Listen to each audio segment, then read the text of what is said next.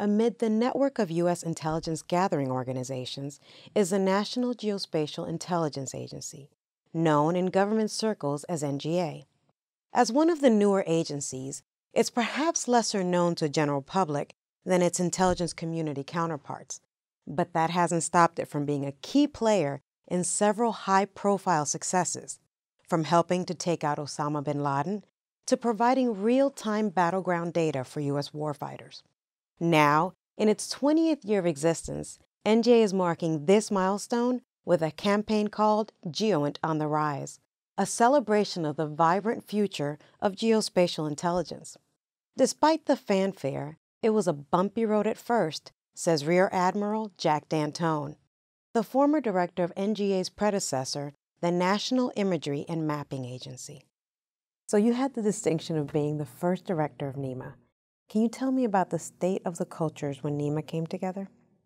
The big issue was the Department of Defense was worried about the intelligence community taking away their map making capability, and the intelligence community was worried about the Department of Defense taking away their imagery analysis capability. That notion had to be dispelled before we could really move ahead. Literally, the week after we were stood up, sat down with the leadership and I said, All right, let's have the parties, but let's get through that because it won't be long when the knives would come out. And I said, The only way we're going to be defended from those knives is to be defended by our customers. So focus on our customers, make them happy. The second piece we had a system called IDEX, which was used in DMA a lot in map production. Very serial, very tedious. Took a long time to build the topographical line map, like months and months.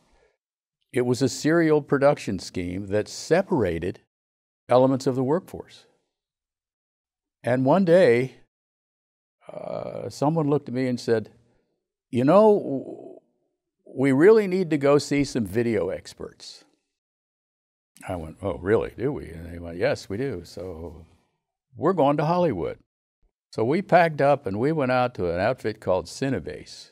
We saw their workstations, their server, drawing from a common database, and that's how they did their work. And whereas IDEX costs in the millions, these workstations cost 15,000 apiece. So we had to have one of those. So we bought one, brought it back. We set it up and literally within two or three weeks built that product, which in the past had taken us five to six months. And I really believe that it was those two things customer focus and the transition to networking equipment that made all the difference. What do you feel is your legacy as a director of NIMA? What I would like to be remembered for is as being that little grain of sand which you and I know has to exist inside of an oyster before the oyster can produce a pearl. So I like to think of myself as that little grain of sand. Next, we travel to Salt Lake City, Utah to sit down with NIMA's second director, Lieutenant General James King. We started by asking him about an initiative to standardize and improve NIMA's functions, known as Workforce 21, as well as an address he made declaring war on negative attitudes. By 2001, the culture wars were pretty well non existent. Uh, NIMA had, was responding to its customers in an outstanding fashion. But at the time in 2001 when I addressed the leaders, we were failing. So it was a plea to the people, dressed in combat arms uniform, to plead with them make Workforce 21 a task. Act like it was a customer task and make it happen. The people did.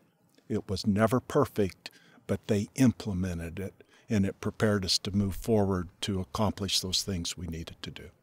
We also discussed NIMA's partnership with NASA on the Shuttle Radar Topography mission and the successes it achieved.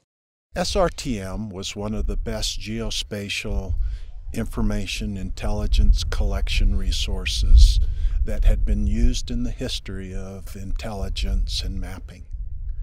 It was able then to provide that near global mapping of the Earth that supported not only intelligence needs, but it became a valuable and needed tool to also provide products to search and rescue and other areas in the academic and civil world that needed the same type of information to protect American lives. And what does he hope to be remembered for as a director of NIMA? NIMA became operationalized. We became recognized and sought after as a Department of Defense combat support agency and were recognized and accepted as an equal partner in the intelligence community. Current Director of National Intelligence, Lieutenant General James Clapper, took the helm of NIMA in 2001, mere days after the September 11th attacks. Well, I took over uh, two days after 9 11 on the uh, 13th of September uh, 2001. And this wasn't specific to NIMA. It was, I think, it uh, pervaded the entire intelligence community. And, and, and I think one question we all had was is there going to be more of this? Are there more attacks coming? I was still in the kind of prep mode, and, and General King and I had talked about delaying uh, the changeover from him to me uh, until the, the situation was clearer to us. Again, we were concerned about more attacks, and uh, DoD said no, uh, the changeover was going to occur as planned, and so uh, I ended up as director, and that was it. Can you tell me a bit about how NIMA transformed into NGA? The transformation of NGA from NIMA uh, is a journey. I asked the leadership, is it time to stop singing Amazing Grace at the wake of DMA and NPIC. And let's meld these organizations because the two were separate. They were under the banner of NIMA, but they were, uh, uh, from a production standpoint, were two separate structures, two separate bureaucracies. Even the name, NIMA, perpetuated the division, Na- the National Imagery and Mapping Agency as though those were two separate endeavors. And so that was okay, uh, we're going to buy into the notion of GEOINT, and ergo, we need to change the name of the agency. And the consensus was yes, we should do that. And so that's what led to uh, the seeking of legislation to change the name and buying into the notion of uh, GEOINT.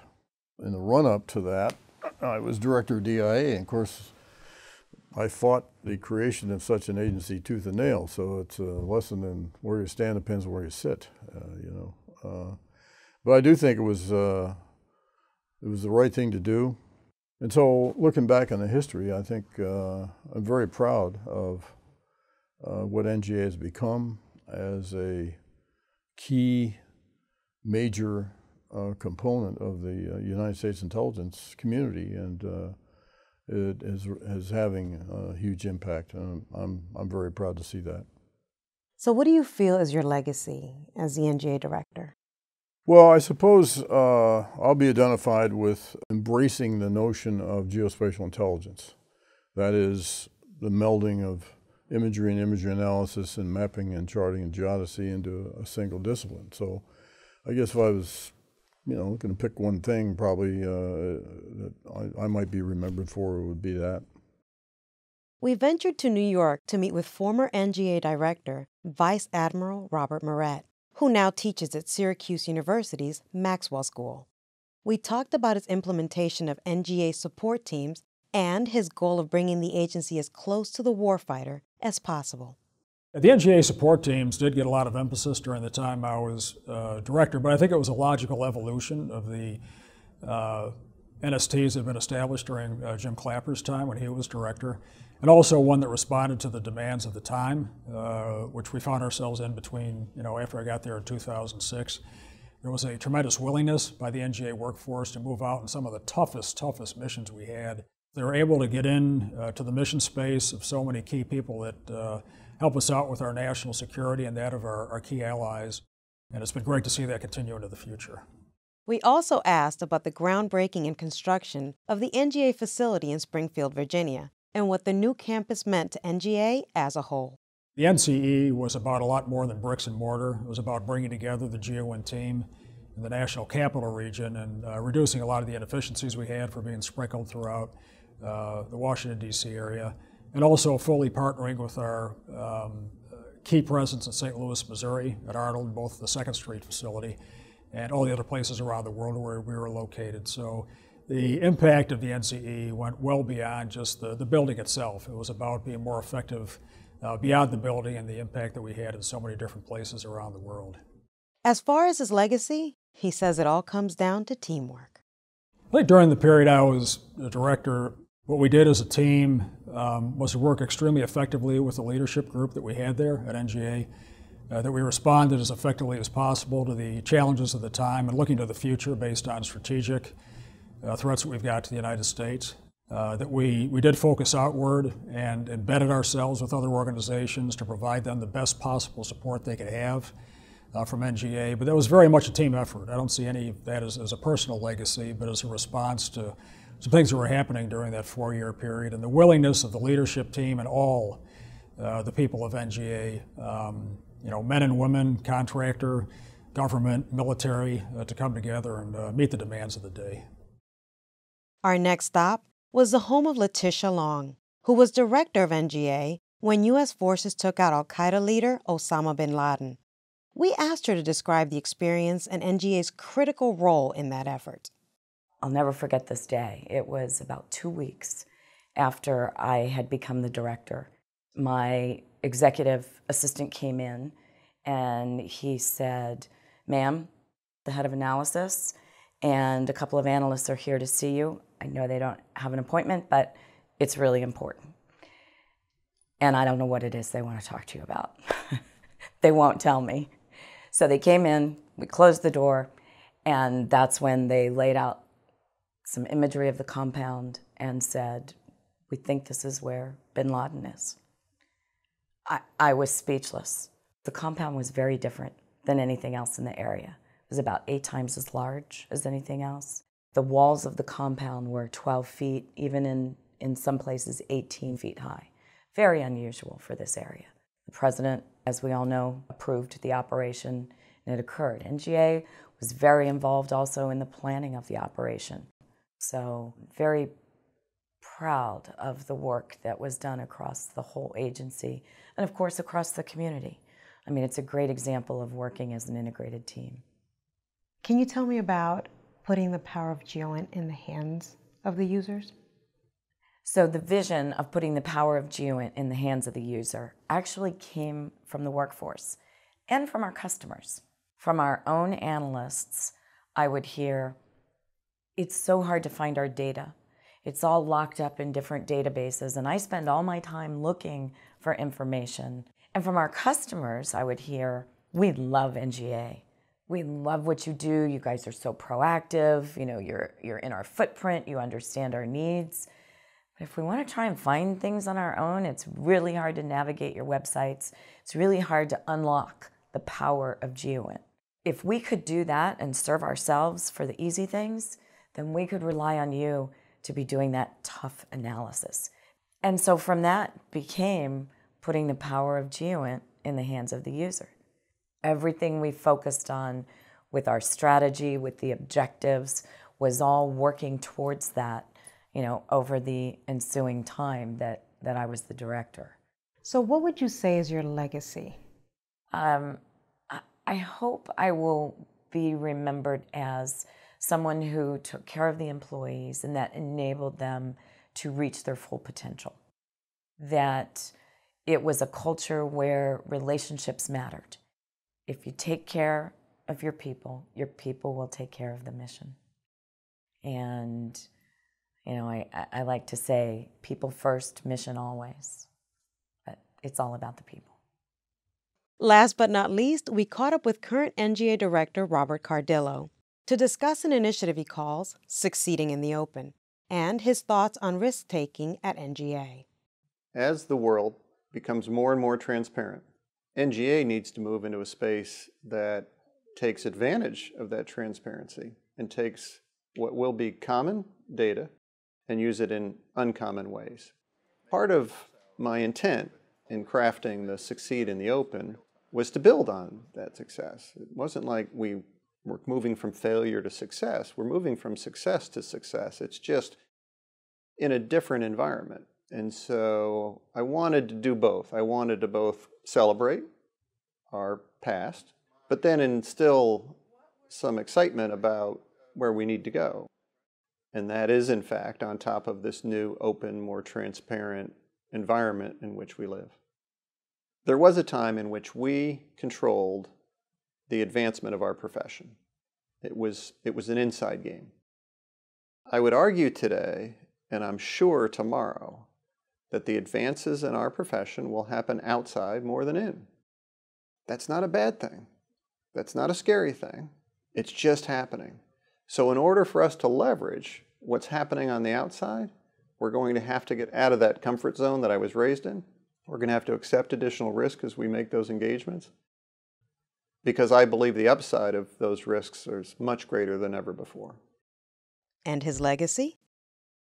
I would hope that as people look back on my tenure as director, that they would see a pivot point, that we were able to make the transition technical, but at least as important mentally, to take advantage of the open geospatial information environment.